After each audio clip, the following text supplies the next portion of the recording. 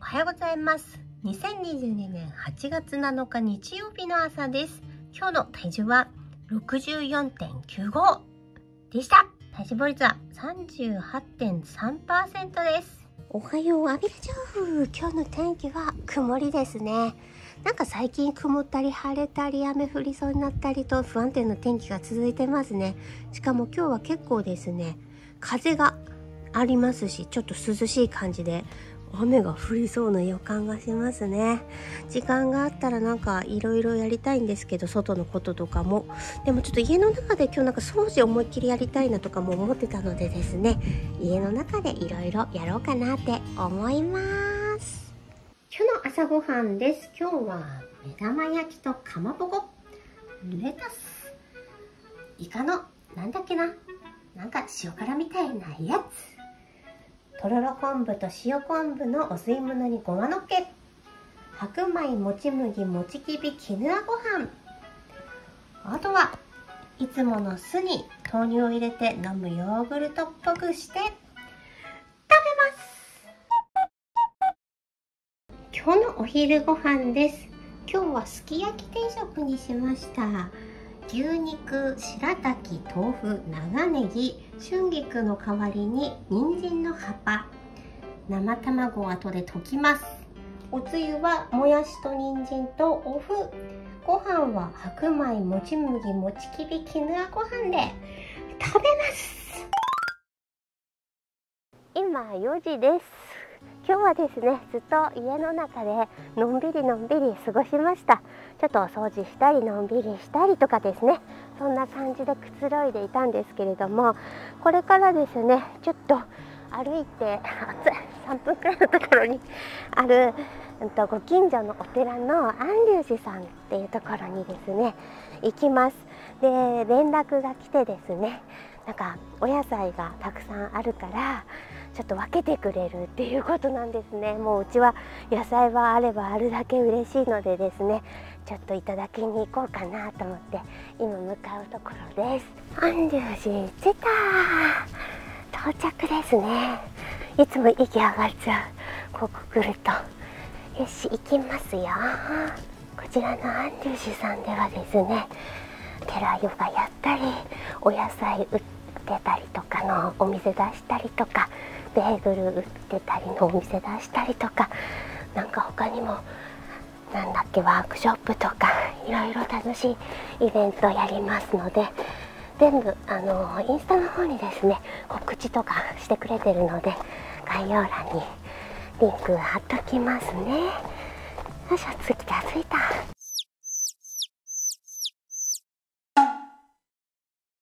たくさんお野菜いただきましたよ。こんなにいっぱいありがたいですね。まずきゅうりピーマンナス2種類ですね。そして南蛮青唐辛子ミニトマトトマトそしてですね冷凍されているミニトマトももらってきました。なんかこれで美味しいもんいっぱい作っちゃいますね。美味しそう。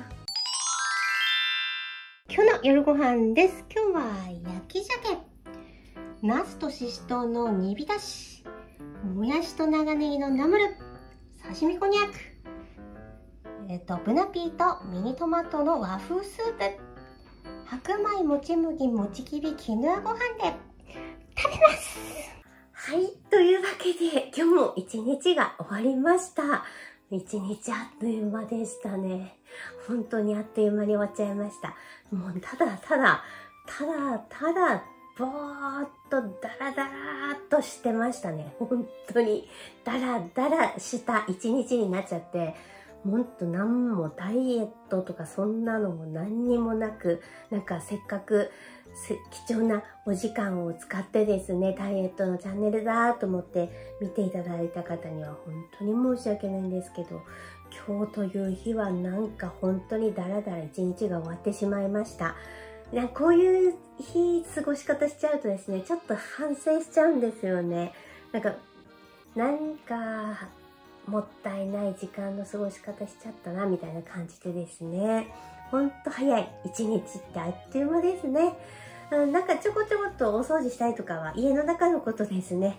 やったりはしたんですけれども、したもののって感じですね。もうちょっといろいろやりたいなって、もういろいろやりたいのがあるから余計できなかったっていうか、やろうっていう気持ちになれなかったから、ちょっとなんか罪悪感みたいな感じになっちゃってるんですけどね。そう、だからですね、またですね、明日、あさって、明日はそうだ、またジムに行く予定なんですよ。明日はですね、ホットヨガをまたやってこようかなって思ってますのでですね、明日また普通にダイエットできるかな？うん、意識して行動できるかなって感じですね。で、そうそう、でもお野菜もらってきてですね、すごい美味しそうなお野菜いっぱいちょっと分けていただいたんですよ。すごい嬉しいですね。なんかやっぱり、あのー、ずっと札幌に住んでてですね、マンションで住んでたんですけども、ご近所の方からですね、こうやってお野菜分けていただくっていうことなんて、なかなかなりませんでしたからね。なんかやっぱりすごく嬉しいですね。こう、声かけていただいてですね、お裾分けいただいたりとかですね。なんか私はそういうのが結構好きなのでですね、うん、なんかアビラ町に引っ越してきてよかったなって思ったりもしてます。で、今日行った安隆寺さんなんですけれども、そう、あの、寺ヨガ私が初めてレス、ちゃんと先生に習うレッスン受けたヨガですよね。今まで2回行ってるんですけど、寺ヨガをやってくれたりとか、あと、なんかいろいろワークショップをやったりとか、なんかですね、いろいろイベントをやってくれるんですよ。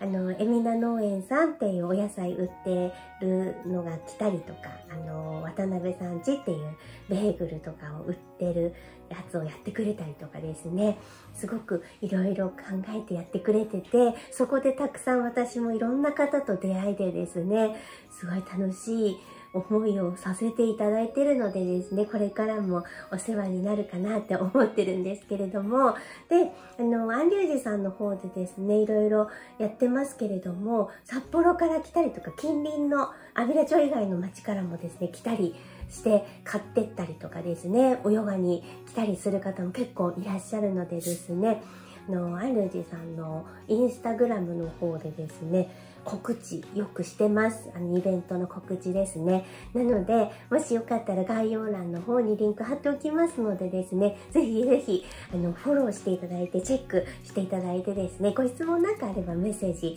送っていただければ、あの、いいかなって思いますので、よろしくお願いいたします。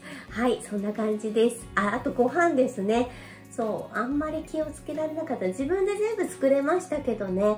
でも、なんかダイエット意識してっていう感じでは作れませんでしたので、まあ明日からまた頑張るかって感じですかね。今日は本当すいません。ダメダメで。で、頭もあんま働かない。なんか疲れちゃったのかななんか疲れが溜まってたのかもしれないですね。でも今日なんか、ゆっくり過ごしたので、さっきまでなんかダラダラしすぎて疲れてましたけどね。なんか体的にはなんかすごい元気になってきてるので ですねよかったですね。こういう日もあってもいいかなって感じです。はい、そんな感じで今日はこれくらいにしておきたいと思います。それでは最後までご覧いただきましてありがとうございました。なんかちょっとほんと短くなっちゃいましたけどね、たまに短くないとですね、いつもダラダラダラダラ長い動画が多いので、たまには短い動画っていうことで、これくらいにしておきたいと思います。ではまた明日お会いしましょう。またね